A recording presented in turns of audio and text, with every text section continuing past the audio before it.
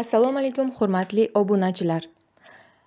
Sizning takliflaringizga binoan bugun biz youtube kanalimizda yangi playlist ochdik. U playlistda biz matnlarni joylaymiz. Barcha matnlar qisqa qisqa matnlar va ularning tarjimasi va matnlarga oid lug'at so'zlar. Bizning darslarimiz sizga ma'qul kelayotgan bo'lsa youtubedagi kanalimizga obuna bo'ling va like tugmasini bosishni unutmang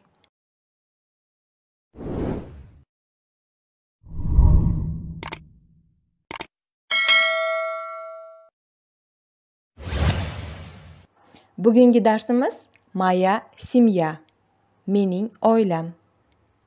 Моя семья mening oilam. Моя семья состоит из пяти человек. Это папа мама сестра братишка и я. Tarjimasi. Mening oilam besh kishidan iborat. Bular dadam onam opam ukam va men. Папу зовут азамат ибрагимович он работает бухгалтером. Dadamning ismi azamat ibragimovich. U hisobchi bo'lib ishlaydi. Маму зовут Клара Тухтамишевна.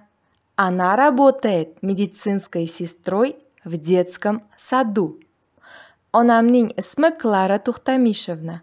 U bolalar bog'chasida hamshira bo'lib ishlaydi. Сестру зовут Нодыра Азаматовна.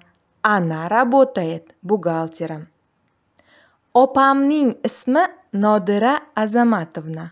U hisobchi bo'lib ishlaydi братишку зовут ozod azamatович он student ukamning ismi ozod azamatович u talaba меня зовут азиза азаматовна я учительница русского языка и русской литературы mening ismim aziza azamatовна men rus tili va rus adabiyoti o'qituvchisiman. Наша семья очень дружная самая крепкая и самая счастливая. Bizning oilamiz juda ahil eng mustahkam va eng baxtli oila. Mana shunday qilib kichkinagina matn tuzsak bo'ladi. Bu matnda hamma o'zini oila a'zosi necha kishidan iborat bo'lsa o'shalarni yozib qo'yish mumkin. Bu uchun quyidagi e, slovardan foydalanishimiz mumkin. Из двух человек ikki kishidan из трех человек uch kishidan из четырех человек to'rt kishidan из шести человек olti kishidan из семи человек yetti kishidan из восьми человек sakkiz kishidan из девяти человек to'qqiz kishidan из десяти человек. O'n kishidan из одиннадцати человек. O'n bir kishidan из двенадцати человек. O'n ikki kishidan из тринадцати человек. O'n uch kishidan iborat deb aytishimiz mumkin bu yerda hamma o'zini oila a'zosini soniga qarab tanlab olishi mumkin navbatdagi so'zlarimiz большая katta ya'ni моя семья большая deyishimiz mumkin небольшая uncha katta emas маленькая kichkina старший брат katta aka младший брат kichik aka старший братишка katta uka младший братишка kichik uka старшая сестра katta opa младшая сестра kichik opa demak keyingisi yana quyidagi so'zlarimiz ishlatilishi mumkin женат uylangan не женат uylanmagan ma'nosida мужской roddagi shaxslarga nisbatan agar я женат desa men uylanganman ma'nosida yoki ya не женат desa men uylanmaganman.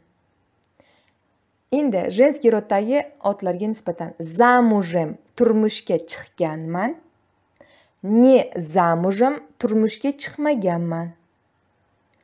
Keyingi so'zimiz разведен ajrashganman deb мужской roddagi otlarga nisbatan ya'ni erkaklar aytadi. Разведена deb ayollar aytadi. Ajrashgan. Keyingisi vdovets yoki vdova beva degan ma'noni anglatadi. Vdovets beva erkaklar vdova beva ayollar. Navbatdagi so'zimiz учится o'qiydi. Student yoki studentka student talaba yigit studentka talaba qiz. Pensioner pensionerka. Pensioner nafaqaxo'r erkak pensionerka nafaqaxo'r ayol. Временно безработный vaqtincha ishsiz invalid nogiron mana shu lug'at so'zlar ishlatilishi mumkin bugungi mana bu kichkinagina matnimiz shundan iborat edi bugungi matnimizdan kim o'zini oilasi haqida e, ruscha aytib bermoqchi bo'lsa bemalol foydalanishi mumkin. Bugungi darsimizni ma'lumoti shundan iborat. Bizning darslarimiz sizga yoqayotgan bo'lsa youtubedagi kanalimizga obuna bo'ling. Taklif va fikrlaringizni qoldiring. Biz har bir taklifni va fikrni muhokamalarda inobatga olamiz. E'tiboringiz uchun rahmat. Sog' va salomat bo'ling.